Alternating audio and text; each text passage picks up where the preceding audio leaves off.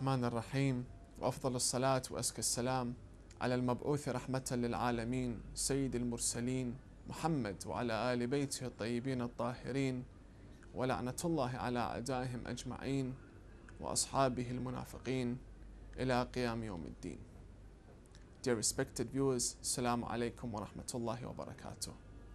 I begin by saying Ramadan Mubarak to you and to your families and to your friends and dearest ones. And I ask Allah subhanahu wa ta'ala that this holy and blessed month of Ramadan passes by and we have achieved the, great, the greatest rewards and that Allah subhanahu wa ta'ala blesses us in existing in the coming months of Ramadan next year and the year after and that we benefit from the holy month of Ramadan with what we can. We are human beings. Therefore, we ask Allah subhanahu wa ta'ala with the sins that we have, with the ability that we have, with the shortcomings that we have, that He allows us to fit Ramadan into our lives once again. We have had 11 months without Ramadan. Once again, Ramadan wishes to enter our lives. We say, Welcome, O Ramadan, once again, and inshallah, we benefit from you as the greatest month, inshallah. When the holy month of Ramadan reaches us once again, we find many people speaking about the benefits of fasting, and we find many people wishing to advise our youth how we can benefit from the holy month of Ramadan.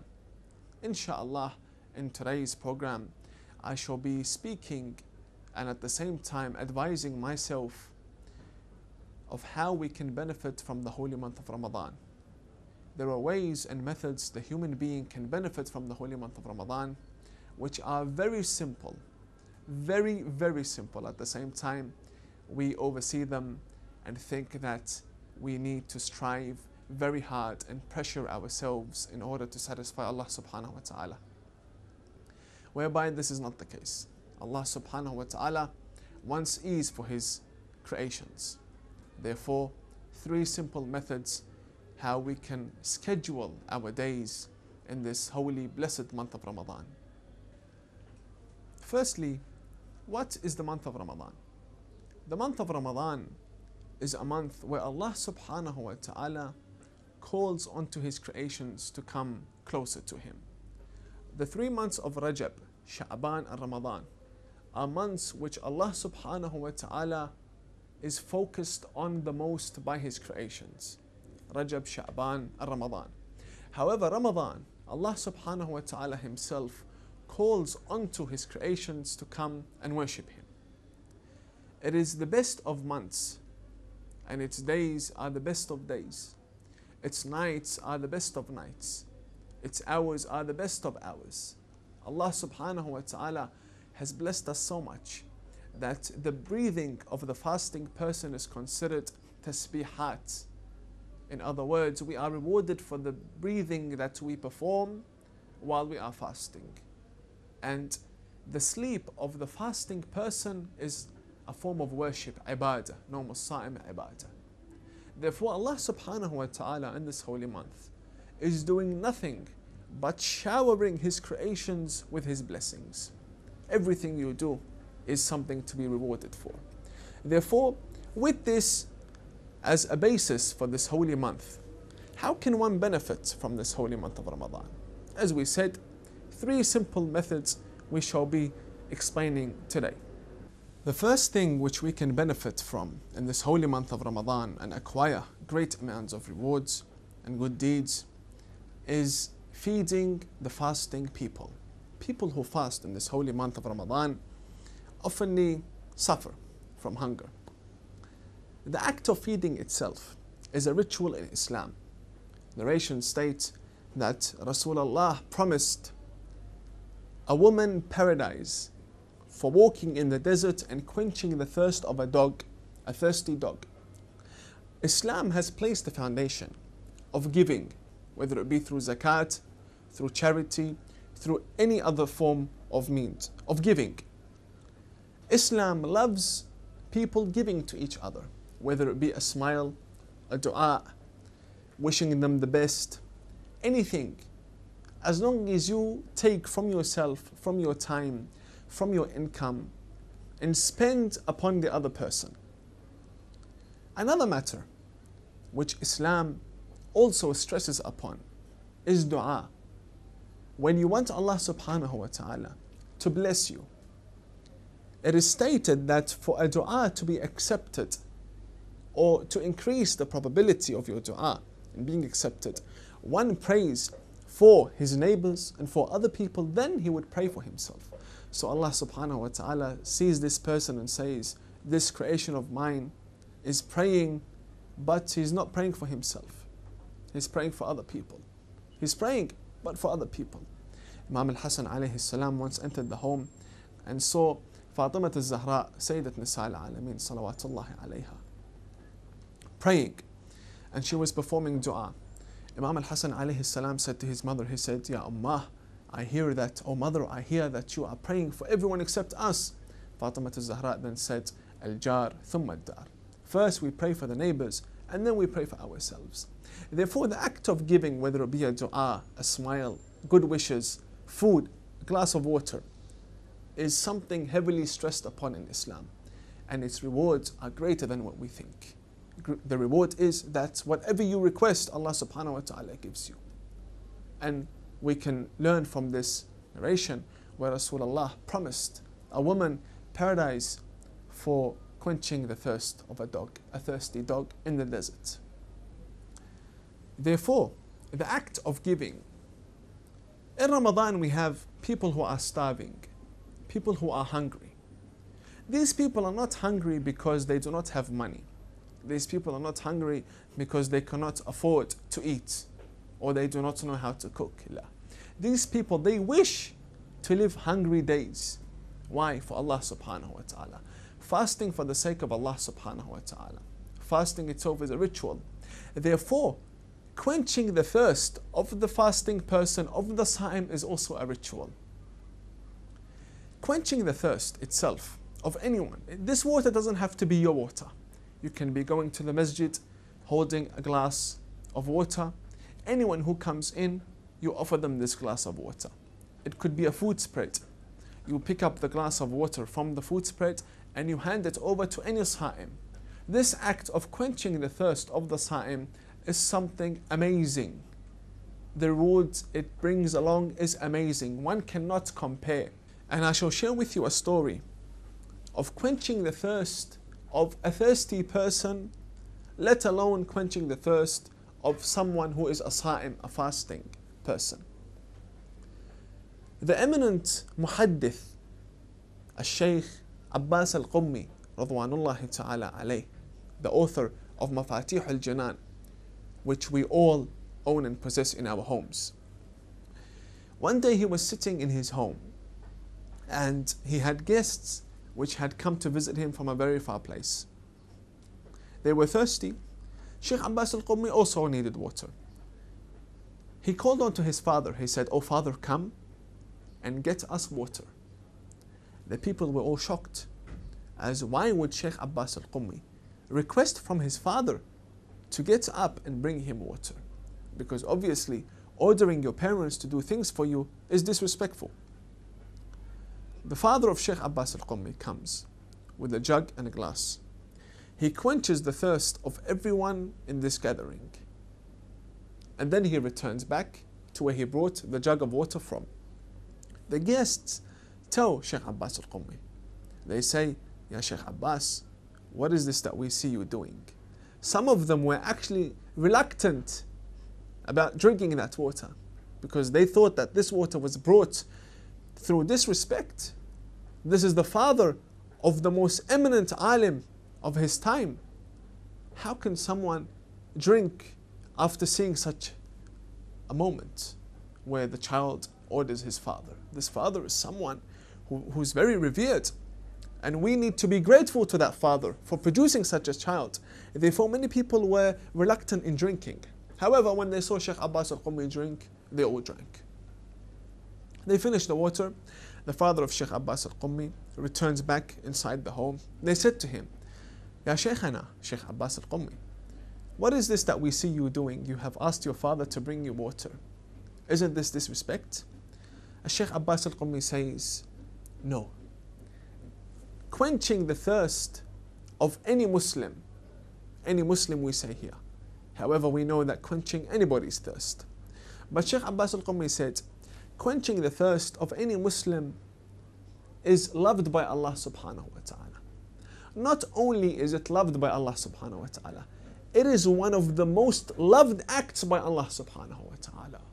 Therefore, I wanted the most loved person to me, which is his father, to be achieving the rewards of one of the most loved acts to Allah subhanahu. And this is where they made the salawat. And they understood why Shaykh Abbas al Qummi. Therefore, if you wish good upon yourself and you wish that Allah subhanahu wa ta'ala blesses you with great amounts of rewards and good deeds, you try and quench the thirst of the thirsty people.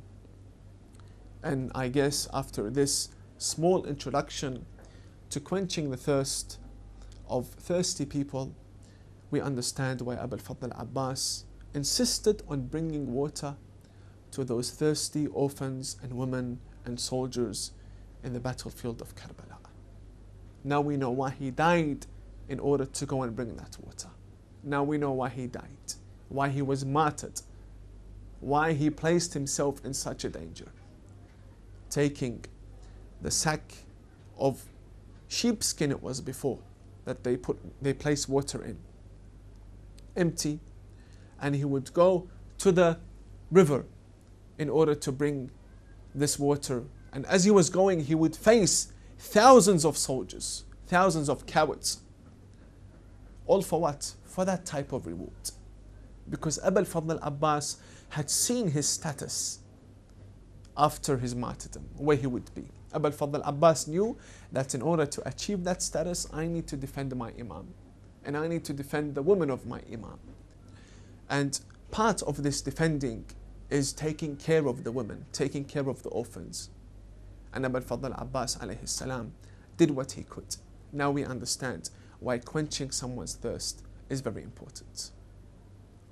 Another matter where we can benefit in this holy month of Ramadan with is the act of feeding hungry people. This act of feeding hungry people does not have to be feeding people by inviting them over to your home. No. For example, in Africa now, we have many Muslims who are hungry, who are starving, and they believe in Allah subhanahu wa ta'ala. They fast the month of Ramadan. When the time of iftar comes, they have nothing to eat. Before Ramadan, they had nothing to eat. They were starving, hungry. However, now they have changed their intention to fast and not eat for the sake of Allah subhanahu wa ta'ala. Sending a few dollars, a few gifts to these poor families. If you know someone who resides in poor Muslim areas, send them a few dollars, send them money. Tell them to feed such and such orphans. Allah subhanahu wa ta'ala will place a blessing in that income which money has been taken out of in order to service the Muslimin, in order to quench the thirst and feed hungry Muslims in the holy month of Ramadan. Another matter, or shall I say, the second point which we can benefit from throughout this holy month of Ramadan is recitation of the Holy Quran, reciting the Holy Quran. We hear this a lot. And I'm not going to be repeating what, what other scholars say and what speakers state. We know the Holy Quran is important and we know that we need to be reciting the Holy Quran. However, why is it that in the holy month of Ramadan we do not benefit from the Holy Quran? Let us bring the Holy Quran in our lives once again. Why not? 11 months have passed. We probably haven't finished the Quran once in this entire year. The holy month of Ramadan is here. And Ramadan itself comes with a blessed ritual. The ritual of obeying Allah subhanahu wa ta'ala 24 7. And it comes with an amazing schedule where it over it takes over your day It makes you someone who fasts. By fasting, it controls your tongue, it controls your eyes, it controls your ears, it controls your heart, it controls where you go, it controls who you speak to, it controls your intentions, it controls basically your entire day. An amazing schedule. And it adds into your days. Now we find many programs which happen throughout the holy month of Ramadan that people complete the entire Quran throughout this month, one juz a day. Why don't we recite this juz a day? Allah subhanahu wa ta'ala states in the Holy Quran that his Prophet Muhammad sallallahu alaihi wasallam complains to Allah subhanahu wa ta'ala from his nation. And this complaint is from us and our forefathers. Bismillah ar-Rahman ar-Rahim. وقال الرسول يا رب إن قومي اتخذوا هذا القرآن مهجورا And the Prophet stated, O Allah, my nation has abandoned the Holy Quran. The Holy Quran did not state, did not use the word, my nation had left the Holy Quran. No, because when you leave something, you can come back to it. The word which has been used is mahjura. They have abandoned the Holy Quran. Now, I will give you an example of the eloquence of the Arabic language and where it can be used. This is an example, and we do not wish to compare. When a man wishes to abandon his wife, they say, Hajara imra'atah. He has now abandoned his wife, which means he has decided to leave his wife and no longer come anywhere near to her, never become close to her. In other words, you decide to leave something when the human being decides to leave something forever. They call this act hajar. No longer wishes to see it, no longer wishes to become anywhere near it, associate himself with it. The Holy Quran refers to the Holy Prophet, saying that Rasulullah has witnessed his ummah as they have abandoned the Holy Quran. They have left it, turned a face away from the Holy Quran. Many people wish to believe this. They say, How is this possible? Or that maybe the Holy Quran is exaggerating, or maybe it's from the eloquence of the Holy Quran that it used the word mahjura instead of they have left tarakul Quran. It is not really something to be surprised about. Let us take a look at our own schedules today. Our schedule is to wake up at such a time. Wake up at such a time. We either study or we go to work. When we come back, we deal with our personal matters. And then we deal with our family. And then we go out and do what we, what we desire to do. Take a look at our schedule. My schedule yesterday, your schedule yesterday, and the week before and the month before. Is there a place for the Quran within our schedules? There's no place. Therefore, in other words, we have made a schedule how to exit the Quran from our lives. It's just the other way around. It's just looking at it from another angle. We have made a schedule which the Holy Quran does not exist in. It's like making a schedule where we have taken the Holy Quran out of our lives. Therefore, let us come back to this Holy Quran. Hold on to it. Wallah, my dear brothers and sisters, every sin we make, and we are sinners, we're all sinners. Every sin we make, Allah subhanahu wa ta'ala will say, Why? Isn't this the act of the day of resurrection where Allah subhanahu wa ta'ala asks us about our actions? What was the reason for you to be performing such an act? If you say you did not know, Allah subhanahu wa ta'ala will say, I gave you the manual of life. I gave you the Holy Quran. This Holy Quran, which is laying under the dust, did you know that each particle of dust on the Holy Quran we will be questioned about? We sin and the Holy Quran, the guide to our salvation, the only salvation that we have at a time like this, our absent Imam, Ajjalallah Ta'ala Farajahu Sharif. What more can we ask for when Allah subhanahu wa ta'ala says here? And we have left it to lay under the dust. Be sure that we shall be questioned for each and every dust, about each and every particle of dust which has laid on our Quran, which we have abandoned, while we remain sinning. It is important that we understand the Holy Quran while reciting it in the holy month of Ramadan. We have many people who have abandoned the Holy Quran and who have become wicked people throughout their daily lives and then wish to come back in the holy month of Ramadan and recite the Quran. Allah subhanahu wa ta'ala is the most merciful. We believe in that. However, let us repent before entering the month of Ramadan. Let us repent before engaging in the practices of worship in this holy month of Ramadan. Say, Ilahi, after this month of Ramadan, I want to be a different person, someone which satisfies you. And I wish to live a different life, a life which you are satisfied with. There is no point in remaining on our sins and then reciting the Holy Quran. Remaining to disobey Allah subhanahu wa ta'ala and then reciting the Holy Quran. This does not work. Many people might say that it should work because the Quran is light. And light, Allah subhanahu wa ta'ala places in our hearts. Yes, the Holy Quran is light.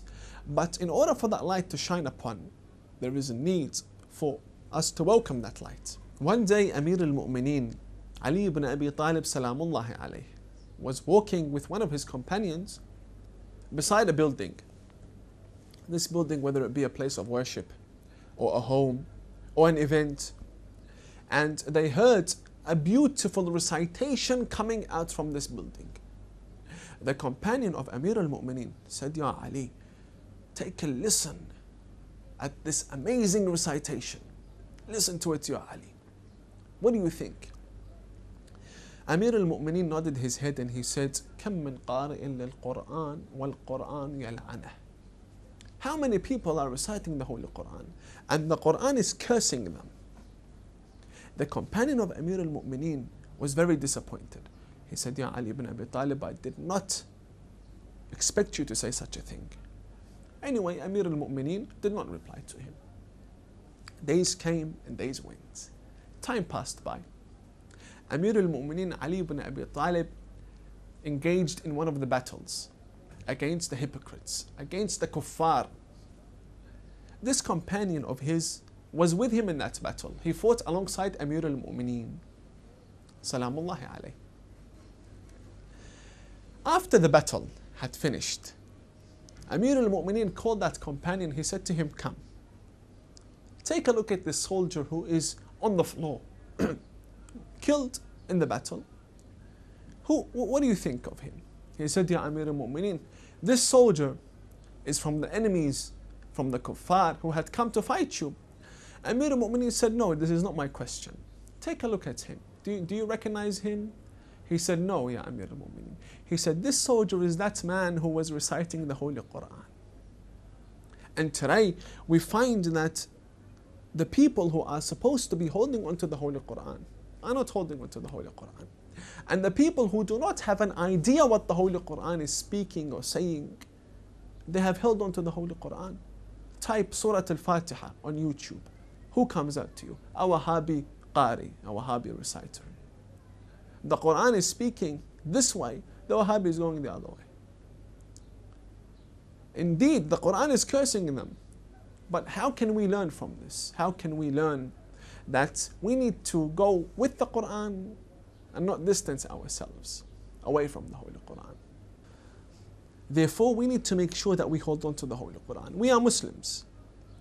Our children inshallah, will be on the wilayah of Amir al-Mu'minin Ali ibn Abi Talib However, can we guarantee that our grandchildren and our offspring and our progeny will remain Shia? Therefore, we need to hold on to the Holy Quran. The Holy Quran is our only way out, with understanding. Therefore, let us add the Holy Quran onto our schedule during this holy month of Ramadan so that we may benefit from it one juz a day.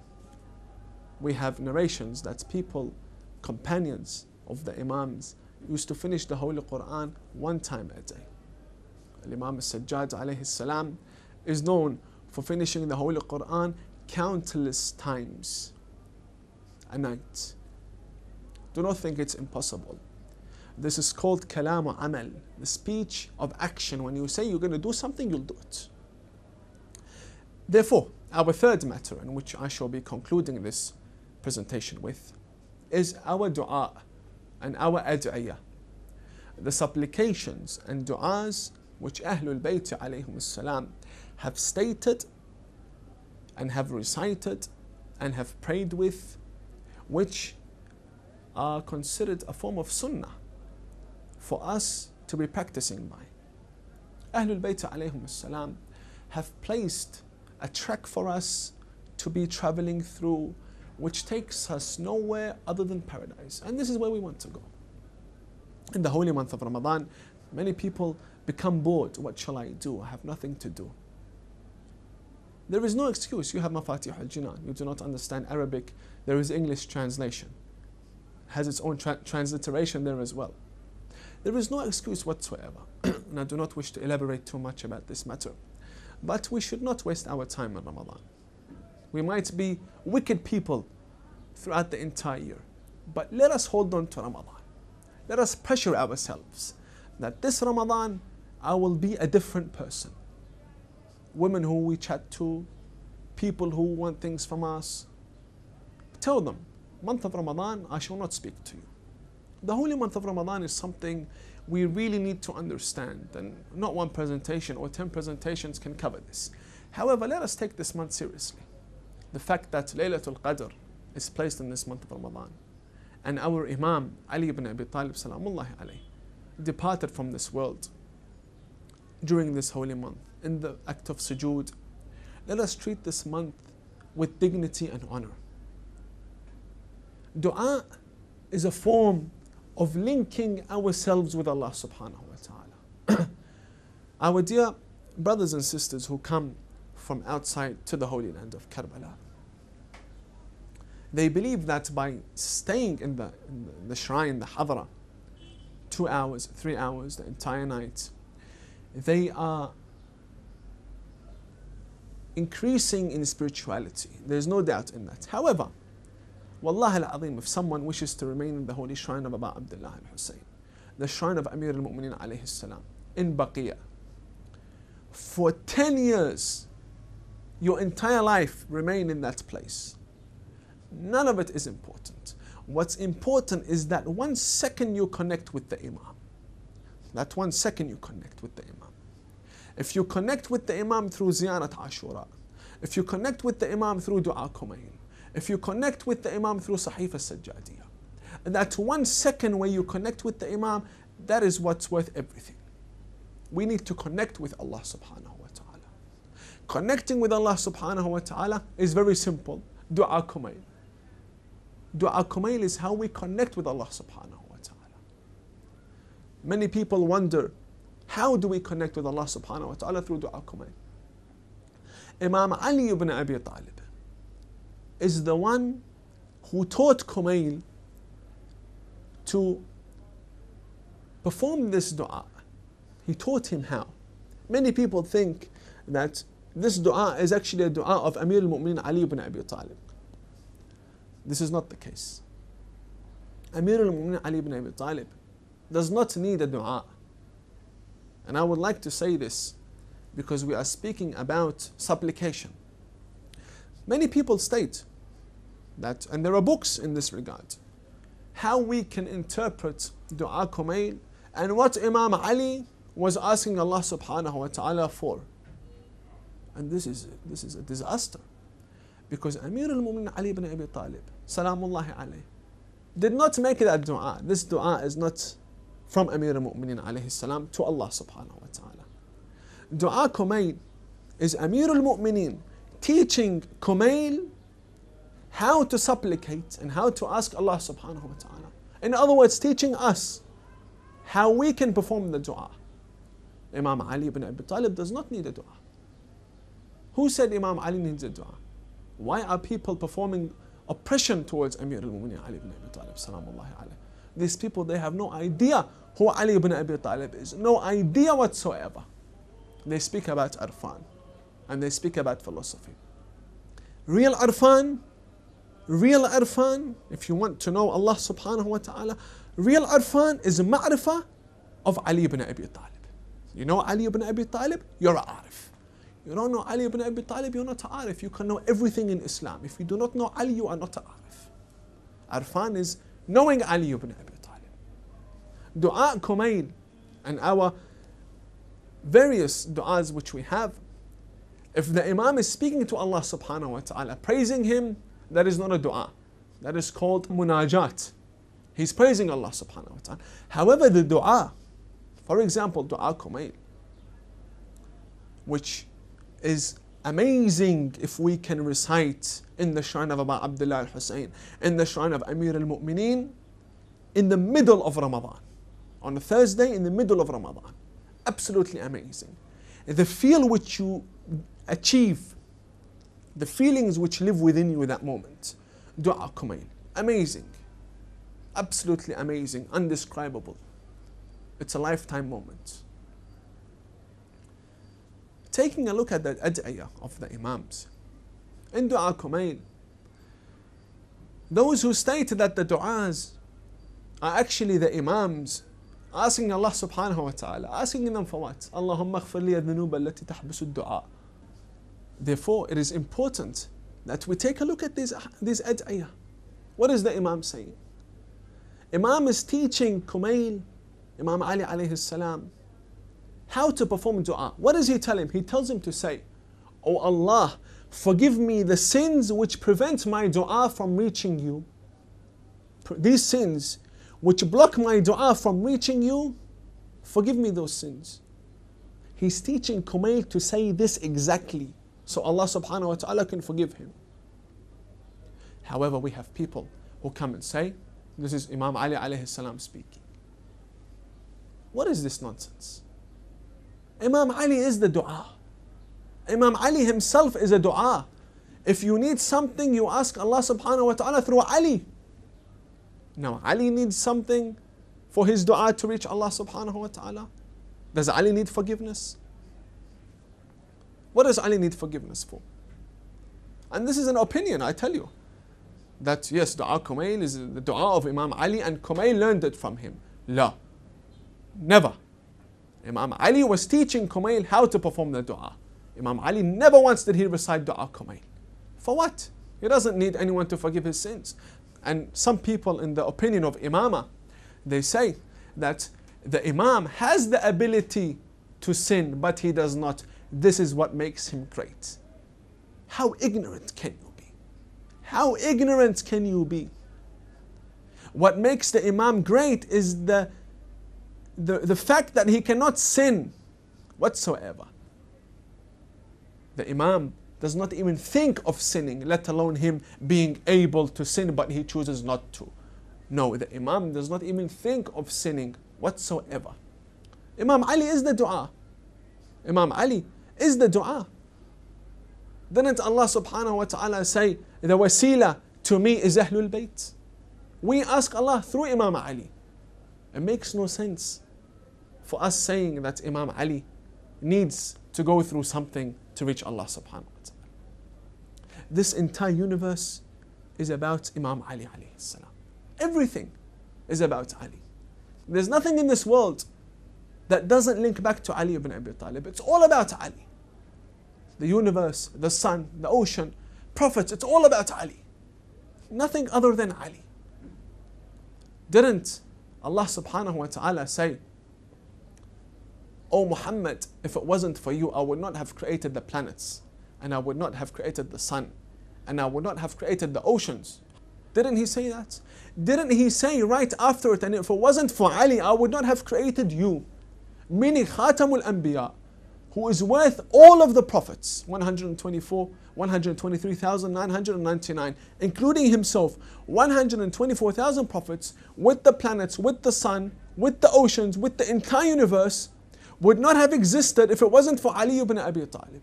It's all about Ali. We state the dua. We ask Allah subhanahu wa ta'ala for what we want. In order for what? In order that we reach a stage of satisfaction that Allah subhanahu wa ta'ala is satisfied with us and that we enter heaven. Is there anything we wish for other than this? We need to go to heaven. Yes, yes. Who owns heaven? Without Ali ibn Abi Talib's confirmation and approval and stamp, no one enters heaven. It's all about Ali. And these people come and they say that Ali ibn Abi Talib needs forgiveness. What type of a mind states this? The mind that states this is a mind that does not know anything regarding Ali ibn Abi Talib. Arfan is knowing Ali ibn Abi Talib. Then you're a arif. You know Ali, you become a arif. You don't know Ali, you don't know anything.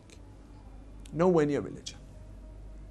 Therefore, my dear brothers and sisters, the dua, supplication, in the holy month of Ramadan is one of the most essential practices of worship which the human being can link with Allah subhanahu wa ta'ala by. Ask Allah subhanahu wa ta'ala to bless us and to allow us in this holy month of Ramadan to be people who Allah subhanahu wa ta'ala is satisfied with, the Quran is satisfied with, the Imams are satisfied with. This treasure, this a'mal of Ramadan, which is available in our books, such as Mafatih al Jinan. Let us practice these a'mal so our Imams know that we actually care about their sunnah. Sunnah is not only the sunnah of the Prophet, sunnah is also the sunnah of our Imams. Let us hold on to the sunnah of Amir al Mu'mineen. Let us cry this Ramadan. Let us ask Allah subhanahu wa ta'ala to give us tawfiq. Ask Allah subhanahu wa ta'ala to bless you throughout this month of Ramadan and allow you to be of those who benefit from the coming months of Ramadan. Wassalamu alaikum wa rahmatullahi wa barakatuh.